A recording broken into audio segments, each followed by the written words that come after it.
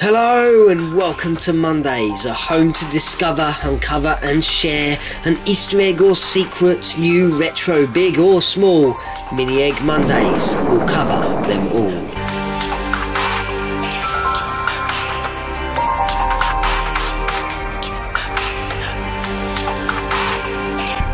Before we tackle a full episode covering the secrets and references of the secret of Monkey Island, episode 14 of Mini Egg Mondays looks into two Easter eggs one that backfired on LucasArts, and the second that refers to the rival company Sierra.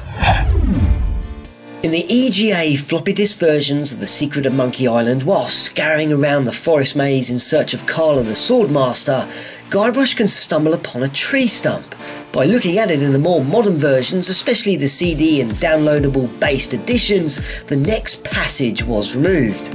You see, Guybrush would say, Hey, there's a hole at the base of this stump. Wow, it's a tunnel that opens onto a system of catacombs. I think I can squeeze through. The game would then prompt you with the following messages.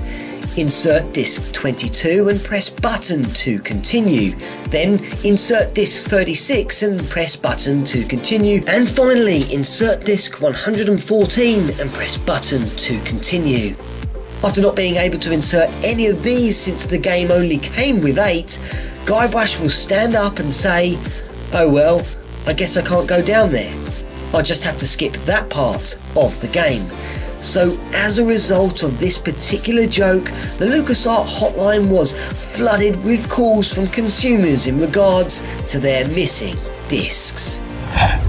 Back in the days of the classic point and click adventures, thanks to LucasArts and Sierra, two of the biggest names at that time, rivalry was of course bound to happen, and on the odd occasion, the two poked fun at one another. It is in part 3 on The Secret of Monkey Island when Guybrush eventually arrives on Monkey Island that he can now venture through the jungle to the river fork, cross a bridge and climb up two sets of footholds where he'll now be able to admire and take in the views across the land.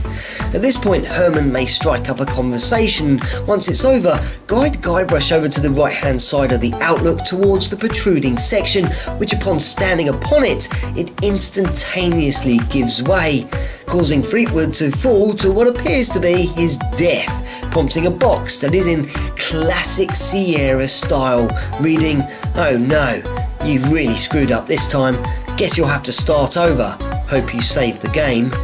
The options of restore, restart, and quit also appear, but they are not needed as not long after thinking Guybrush has died like you might do in a typical Sierra game, he will now bounce back up, landing safely on his feet, claiming he landed in a rubber tree.